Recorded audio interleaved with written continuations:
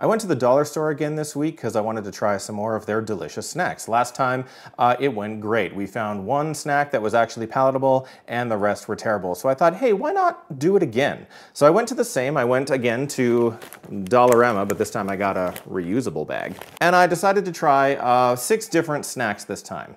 There was a wide selection of food available, but I did decide to skip the dollar store dented can escargot. Um, but you know what? If I get to a thousand subscribers, I will go back to Dollarama, buy some escargot, and taste it. So be sure to get subscribed if you want to see me try dollar store canned snails. So first up, let's have a little bit of an appetizer to whet the palate. And I thought I'd start with this Paris pate um, deviled ham. But I think you're supposed to spread this on something, so I also thought I'd give a try this D Gourmet olive oil and oregano uh, crackers. So I'm gonna open the crackers first. Oh, they're, they're like, they're individually wrapped. They come in a little package here. They, they definitely have an oregano smell to them. They, they're extremely dry and brittle looking too, like if I'll just like, and next up is the um, deviled ham with natural smoke flavor. It looks like cat food. It smells a bit like cat food. All right, let's, let's have a look. If you look at it, it's like a ham spread. Put it on the cracker here. It's extremely salty. It really does smell, it smells like, like canned cat food. Ugh. It's not good. It does smell a lot like when you walk into a Subway restaurant. You can really see the, the texture of it. I've tasted it before from the supermarket, but I don't think it's supposed to taste this salty. Or this much like, like cat food. I am gonna try one of the crackers on their own to see how that tastes. It tastes like stale pizza crust.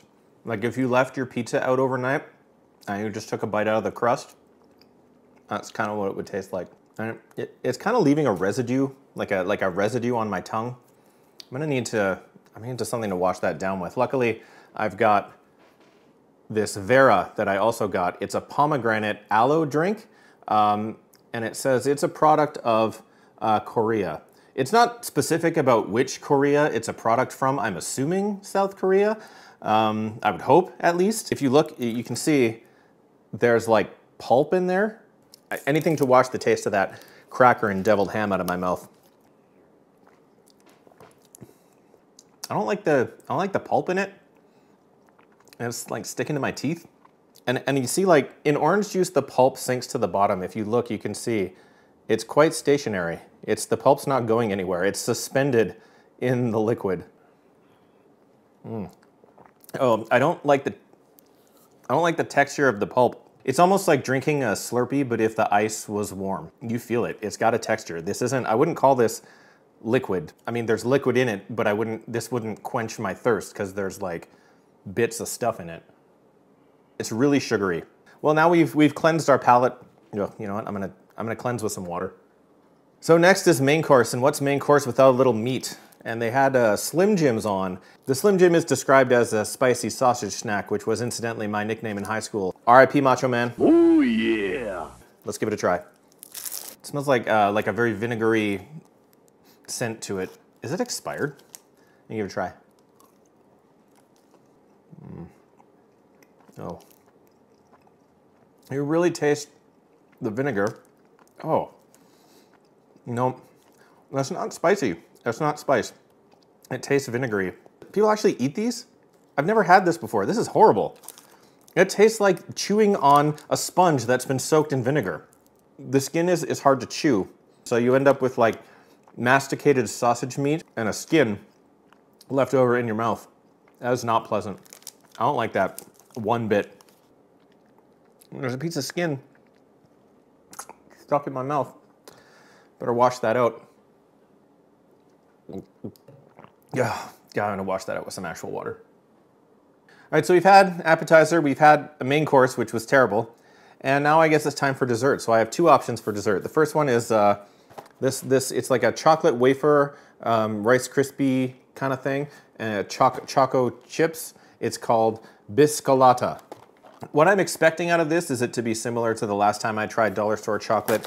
Um, really waxy, really uh, like leaving a film on, on, my, on my mouth. They're small little, they're like, they're like chocolate Pringles.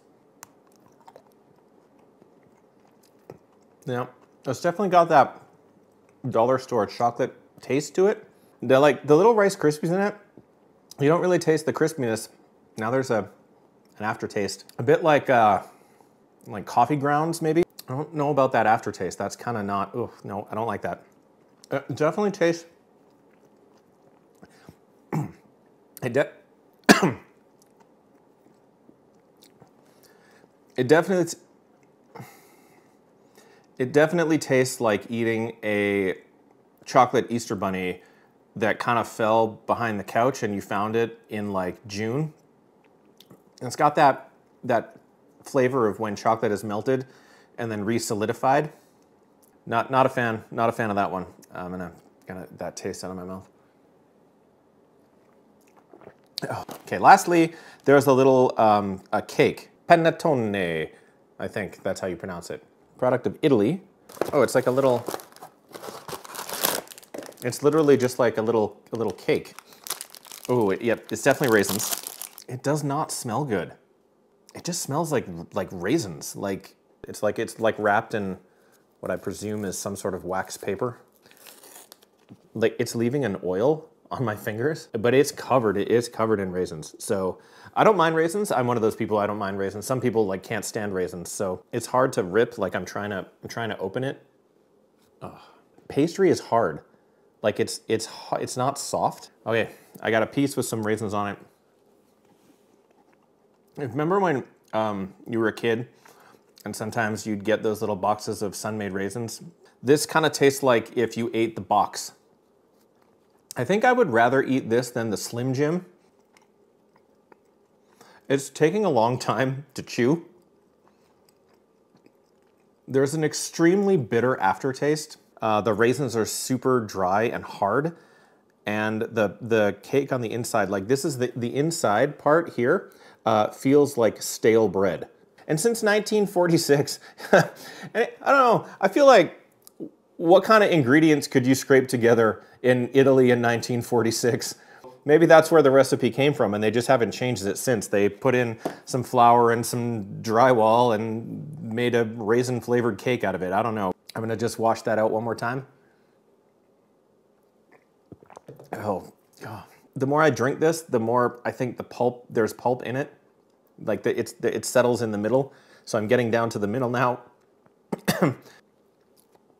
the pulp is kind of settled towards the middle of the of the drink, and, and I'm just gonna I got to do water. I'm sorry.